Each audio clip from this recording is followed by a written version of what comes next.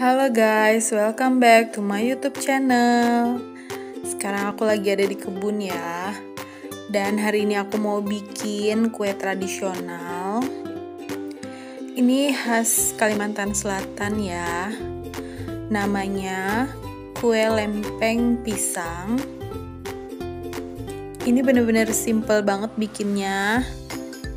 Tapi rasanya nikmat banget guys dan ini cocok banget lagi hujan-hujan kayak gini kita makan kudapan yang disajikan hangat. Apalagi sambil minum teh gitu. Ikutin terus video ini sampai habis ya. Happy watching.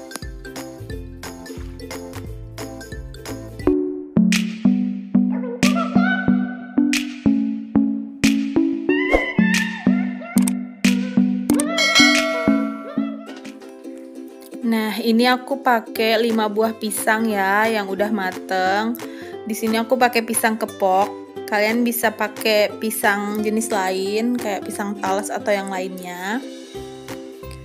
Terus ini aku mau potong kecil-kecil seperti ini.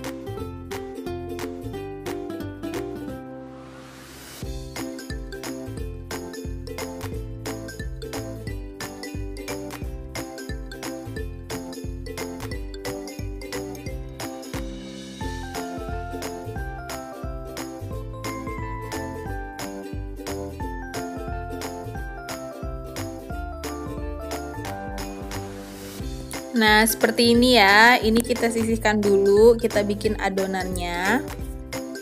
Di sini aku pakai satu butir telur, 5 sendok makan gula. Ini e, terserah ya, kalau pengen lebih manis bisa ditambahin lagi.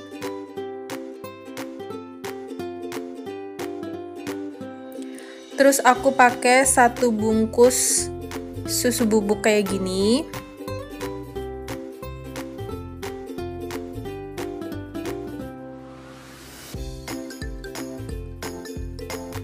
Terus vanili bubuk ya.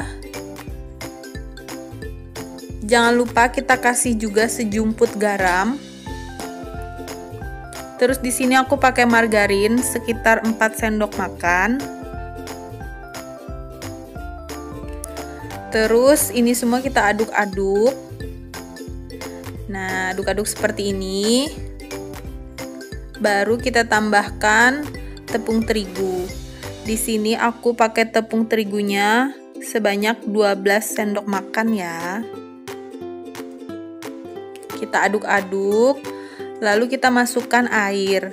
Ini airnya kita sesuaikan ya guys sampai adonannya itu uh, jadi nanti teksturnya tuh nggak terlalu encer atau pokoknya dia jadi kental gitu. Nah, sampai seperti ini ya. Kalau udah kayak gini, kita masukin aja pisangnya tadi, kita campurkan semuanya.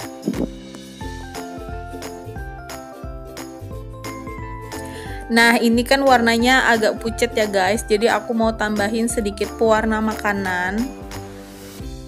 Ini warna kuning, ini opsional kalau kalian nggak mau pakai juga nggak apa-apa. Nah, ini siap kita goreng. Nah, kita gorengnya itu di ini ya guys, di kayak teflon gitu. Yang penting dia ada tutupnya.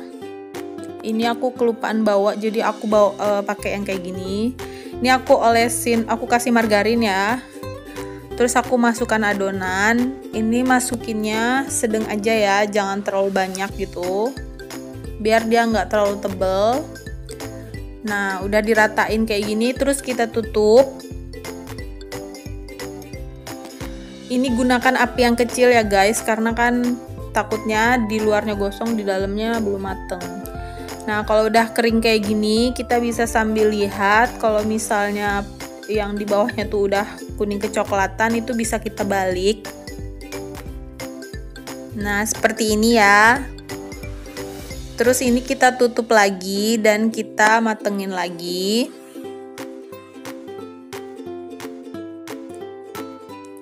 Udah deh, ini dia lempeng pisang khas Banjarmasin, Kalimantan Selatan. Kalau di Banjar, kue itu bahasa daerahnya tuh wadai. Jadi ini disebut wadai lempeng. Ini bener-bener yummy banget, enak banget. Cara bikinnya juga simple. Apalagi kalau disajikan baru mateng gitu, hangat-hangat sama teh atau kopi, bener-bener mantep banget guys. Sekarang aku mau cobain. Menurut aku, uh, ini tuh bisa kita tambahin juga apa sih taburan-taburan keju ya kalau kalian suka. Hmm, ini enak banget, kalian mesti coba. Oke, makasih ya udah nonton. See you on the next video dan jangan lupa subscribe channel aku. Bye bye.